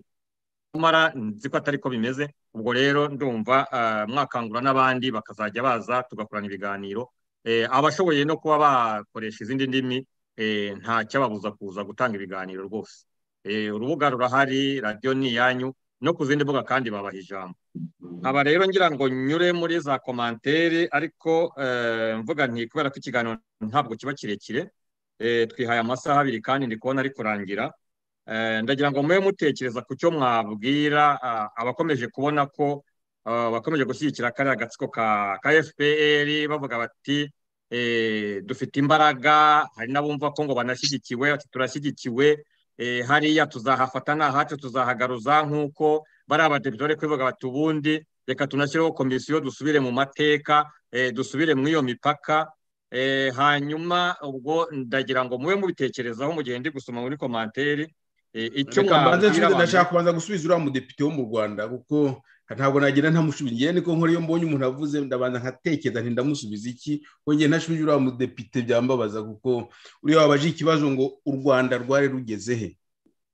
U rwanda rwari rugeze u rwanda rwari rugeze he? U rwanda rwari rugeze he se nyine? Abantu baribeshya cyane kuvuga ngo buri wese ashaka ko u rwanda rwari masisi. U rwanda rwari rugeze masisi se? U rwanda rwari rugeze i rucuru se icyo abantu bagomba kumenya ni uko kariya karere kari kagizwe na- naryo bita za prinsipote prinsipote siko nabyita uduhugu kuko wafata nka monako hano abatuye mu bufaransa prinsipote na- ntabwo ari agahugu gato kari mu bufaransa kariya kare kari ka- kagizwe n'impugu nyinshi bafata n'u rwanda bagendaga bafata abe kagame abivuga neza mu gitabo cye bagendaga igihugu cyose basanze u rwanda rufite impugu nyinshi akarere kose karimo impugu nyinshi notama umwami ndeza ategeka rucuru. Ntabwo rucuru yari u rwanda. Ahubwo bu- ubufumbira bavuga ntabwo ubufumbira bwari u rwanda. Yari perezida bufite abashefu babo. Imasisi nta n'abanyarwanda bariyo. Pierre Guru yarabyanditse nabikozeho n'ubushakashatsi. No muri teze yanjye ndabyandika. Pierre Guru abivugaho ko abanyarwanda bajya i masisi haba ari amoko yandi bicwaga n'inzara kuko ba- barahigaga ariko inzara bag- bagahiga bagatungwa n'inyamaswa n'iki nta inzara zibayo. Abanyarwanda bamaze kugeraho inzara zabaga i masisi ziracika. U rwanda rwari rugeze ntaho ntabwo ari u rwanda kuvuga ko que umwami wabo eh, umwami wa- umwami cyane wari umurwanyi wakoraga yagira gukora expeditions de razia. Yashobora kugenda akiba bavuga ngo yageze gukora razia ahantu ngo yari afashe. No ni ukubeshya. Ntabwo u rwanda rwari rugeze rero zari impugu nyinshi bahuje ururimi c'est normal kuko c'est de langue bantu. Donc bagenda bahuje indimi ntaho u rwanda kuvuga ngo rwari rugeze ntaho rwari rugeze. Ntaho rwari rugeze ikindi ikindi nashaka kugarukaho ni uko arongera akavuga ati ngo barashahura bagaca ibitsina ibyo bakora bo agashaka kubyitirira abandi akabyitirira abandi. No- no- noneho na na marie jeanne ati ba- bagira ngo turi ngo turi bene ngo ba- ba- ba- ba- batwara abafashije hari- bamwe bagira ngo ni bene wabo. A- n'abakongomani uwo mutego bari kugwamo abakongomani uwo mutego bari kugwamo uretse ko abanyamurenge bo kera abanyamurenge biyita abanyamurenge narabarwanyaga. Ariko maze kumva impamvu rya terima abanyamurenge babishatse. Reka tugaruke ku banyamurenge bageze muri congo. Abanyamurenge abenshi ntabwo ushobora kuvuga ngo bageze muri congo igihe n'iki ariko kontenja nyinshi y'abanyamurenge yavuye ku rucuncu. Burya mu bantu abahunze urucuncu benshi bahungiye muri iriya misozi hari abandi bagiye bahunze ingoma mbi ya cyami. Burya hari n'abatutsi bahungaga. Bakajyana inka zabo bakazijyana muri iyo misozi miremire no mu bufumbira. Hari abatutsi benshi babafumbira bagiye benshi bavuye mu bagahunga. Hari n'abandi bari muri izo za peresipote ni ukuvuga ngo u rwanda rwari rugezeho ntibakuramerwe mu isaho. U rwanda ntaho rwari rugeze ntibakajye babyitwaza. Naho Brigitte ati ntabwo tuzi aho bakuye abarwanyi. Me Brigitte abarwanyi babakura he? Abarwanyi bava no muri uganda. Ni uko abantu batabivuga ariko burya hari abagande benshi bari kurwana bari gufatanya na bariya bantu. Abagande bari gupfira muri ku rugamba ni benshi cyane. Abagande bari gufatwa ni benshi. Kisekedi sinzi icyo ategereje buriya nawe ni umukino ari gukino ariko turabizi ko hari n'abagande bari kurwana benshi cyane. Naho nashaka kugira nashaka kuvuga. Ikoze rero mube mutekereza ku nama mwagira abo ngabo bacyumva ko ngo ngo bagifite imbaraga ngo kandi ngo bazagaruza ngo ubwari ubutaka bw'u rwanda umaze no kubabwira ko nta butaka bw'u rwanda bwari hariya kandi nanjye ndabyemeza ntabwo bagomba kwitwaza ko aho abavuga ikinyarwanda batuye hose ari ahabo. Icyo gihe ubwo ni ukuvuga ko bazaza no gutera hano muri amerika aho nicaye kubera ko mvuga ikinyarwanda. Ntawazabibakundira rero. Cyangwa ejo bakazajya hariya nk'uko bageze muri mozambique kubera ko hariyo abanyarwanda bavuga ikinyarwanda batahari ahacu naho ibyo rero byo kwigira nka cya kinyoni cyitwa nyirabarazana kigenda kivuga ngo ahari ahacu ngo naha bari bakwiye bari bakwiye kubivaho. Mube mutekereza rero inama mwabagira cyane cyane bariya abanyamakuru bo mu rwanda bakunze kogeza tubabwira tuti nyamara ibintu birakomeye nta ibyo mutekereza si byo ugasanga badutuka ugasanga batwereka ko ngo turi ngo twanga u rwanda ngo twanga ko u rwanda rwaguka mube mutekereza icyo muza kuza kubabwira tugana ku musozo. Reka nyure muri komanteri z'abadukurikiye. Ndavuga nkeya ariko kubera ko igihe ari gitoya banyihanganire. Mpere kuri iyi ngiyi mpere kuri iyi ngiyi ya ruwi ni ukuri ruwi ni ukuri yavuze ati daniyela ati nkubwije ukuri bita bananiye kuva bananiye kumva kariya gatsiko. Ari muri isitwari ari muri siyanse zindi ni inike mu bwicanyi mu bugome mu kibi cyose gushoboka gishoboka ku isi y'abazima. Ubwo ni ni ukuri betina emati ariko agatsiko gafite abantu bangahe? Twese dusakuze tubwire amahanga ko tutabari inyuma. Hanyuma xxy akavuga ati daniyela yarabaze asanga abo batabarwa n'inyenzi nkata ngo ni zeru ku ijana. Hasani kikuraco ati john we bazahagera bazahagera bice agomoko rwose bagarimbure noneho za numbi mushaki kirorirwe katarimwa bose babarimbure. Hanyuma indi komanteri ugiye tarisisira uragiye? Ugiye? Ndahari ndahari ntabwo muri kunyumva wari ugeze ku komandire y'umuntu wambuze ariko ni ho byahagarariye ni ho nari ngeze buretse nkomeze nari maze kuyisoma ndumva wayumvise. Birashoboka ko ari kugusubiza ahantu wigeze kuvuga. Yari arimo gusubiza. Hanyuma indi komanteri ni ya eva pazi eva pazi aravuga ati umugani rwa idamange uzi ko abantu musetsa? Mubona iki gihugu kigira perezida? Rwe ni ukuri ati abana babo n'ababakomokaho bazajya bahunga kwitwa bene bo. Nka mwene kagame kabarebe ibingira nziza n'abandi. Birutwa no kwitwa mwene kigurube. Kwitwa umututsi bazajya babihunga kuko ni icyorezo.